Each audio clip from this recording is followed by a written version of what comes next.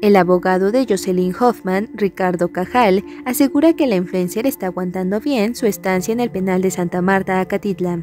El litigante espera en las próximas semanas tener nuevas noticias con respecto al proceso que enfrenta la youtuber, conocida como Joss Stop, quien el pasado 29 de junio fue puesta en prisión preventiva por el delito de pornografía infantil.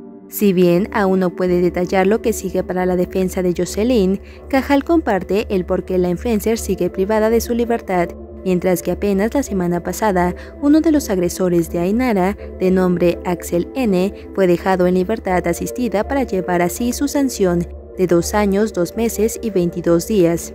Son procedimientos distintos, es comparar peras con manzanas. Ellos eran menores de edad y se rigen por otra ley, que es el procedimiento para menores de edad, detalló. Hace unos meses, en entrevista con Pamela Cerdeira, la abogada Olivia Rubio, quien redactó la ley del sistema justicia para adolescentes, ya había ahondado en el asunto. Detalló que Joss Stop está vinculada a proceso por el artículo 187 del Código Penal del Distrito Federal en su tercer párrafo.